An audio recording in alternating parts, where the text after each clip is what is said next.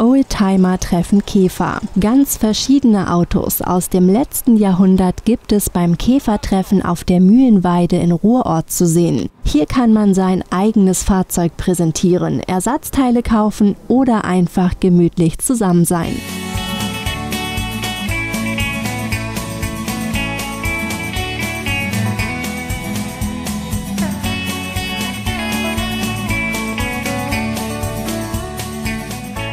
Zum 15. Mal veranstaltete der Stammtisch Käfer und Co. Rheinruhe die Zusammenkunft der Käfer- und Oldtimer-Fans.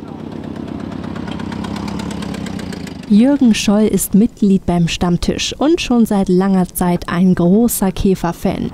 Ja, ganz klar. Ich war als junger Mensch oder als Kleinkind bin ich von meinem Opa mit einer 100.000 Kilometer Plakette beschenkt worden und da fing eigentlich der Virus schon an.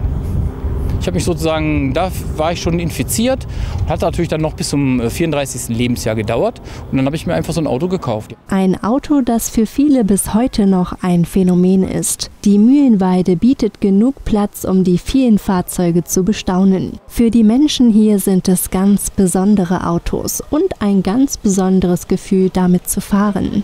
Das Besondere am Käfer ist einfach die Ursprünglichkeit. Wenn man im Käfer fährt, dann ist das so wie so ein Diorama. Man fährt eigentlich äh, mit so einem Auto, was aus einer anderen Zeitepoche ist. Das ist aus den 30er Jahren entwickelt worden. Es ist einfach eine einfache Technik und es funktioniert. Einfache Technik, die begeistert und zusammenführt. Und das hoffentlich auch noch die nächsten 68 Jahre.